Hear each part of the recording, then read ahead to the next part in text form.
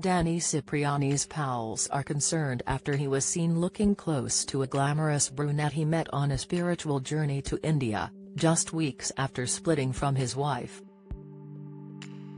The 36-year-old, who announced his retirement from professional rugby last week, was pictured looking cozy with a French-born yoga teacher who calls herself Eve Kundalini at a restaurant in Ooty, 1,200 kilometers south of Mumbai. Kundalini is a type of meditation linked to awakening inner serpent energy, and tantric sex. A source told The Sun on Sunday, Danny's on a spiritual journey. He admires Eve and how in touch she is with Mother Earth. But some of his friends are concerned about how drastically his life has changed. One minute he was with his wife in Kent and looked like he had settled down.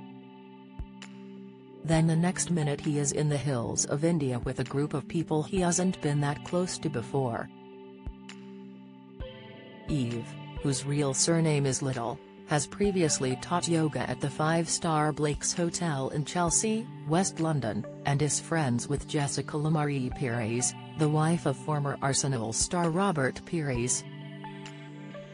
Danny and his wife Victoria, who a grandmother, split in November 2023 after two years of marriage.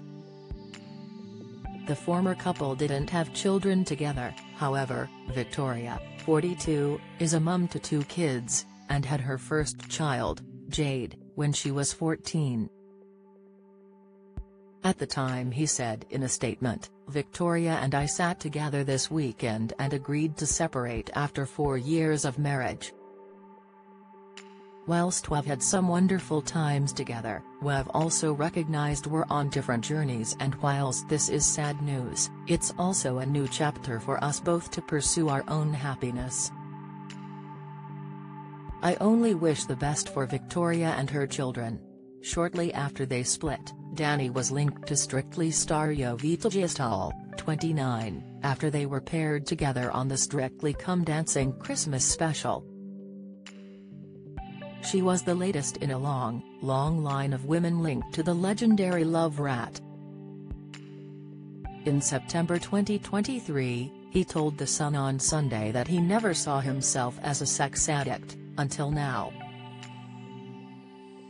He said, I was once a guy that had sex with so many women, I was pushing the boundary, and I was trying to find a way to have sex with this person and that person, threesomes and whatever, whatever. But none of that stemmed from a place of love. Even though on the outside it looks like I'm having a great time with all these women, deep down I'm constantly letting people down. Constantly hurting people. Constantly hurting myself because I'm acting from a place of pain. Follow Mirror Celebs on TikTok, Snapchat, Instagram, Twitter, Facebook, YouTube and Threads.